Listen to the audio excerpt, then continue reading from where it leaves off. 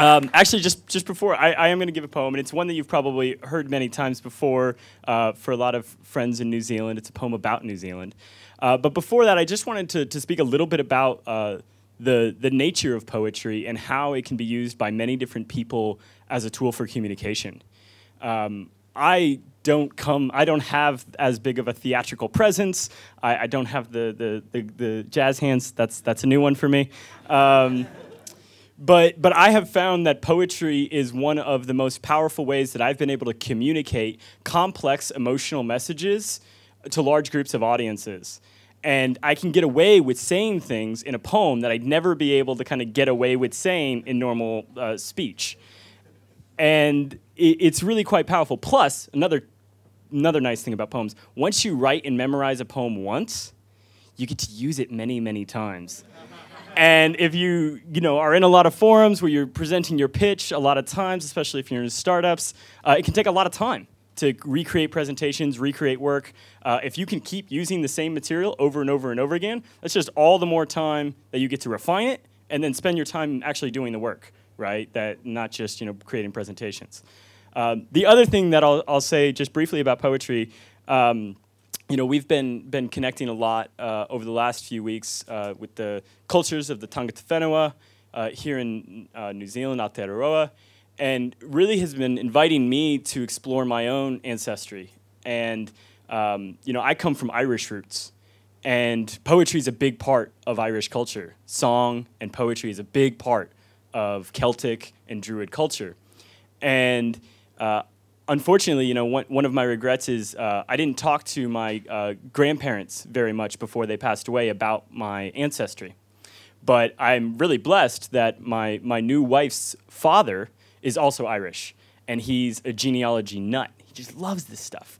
And so he's really deep into Irish history, and he's been teaching me a lot about Irish poetry and uh, it's just been a really nice vessel for me. So I, I just encourage you to uh, also explore the songs and poets of, of your culture, um, as well as uh, people who are moving here to, to explore the culture and songs here. Um, so anyway, all right. Um, so I hope y'all ready to go, because I'm ready to float.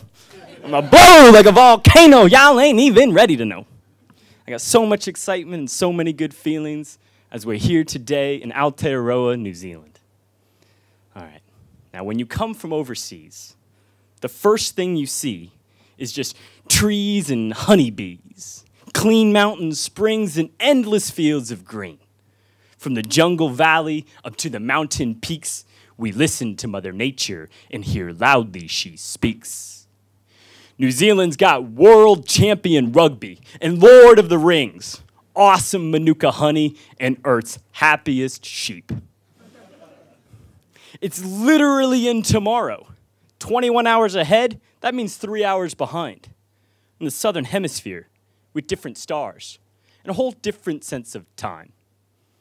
But then you look closer, and more is perceived. Because, like a kauri tree, New Zealand's roots run broad, strong, and deep. With a culture not based on commerce, but on kindness one that values the importance of wisdom, balance, and silence. Kiwis value fairness, compassion, and honesty, witty and reflective with self effacing modesty, balancing individual responsibility with deep community connections, with leaders elected fairly in honest, open elections now, I'm not saying that it ain't got problems. Like any place, it's got its due. What I'm saying is let's solve those problems in New Zealand first as we solve them for the rest of the world too.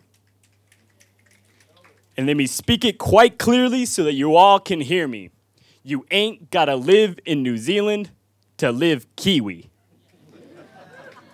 it's a state of mind shift. It's a different way of seeing, a different way of taking action, and a different way of dreaming. I dream of an information economy based in a restorative ecology where we spread our philosophy through our technology about all the ways that we've gotta be to keep living on this planet. Fairness standard, none abandoned.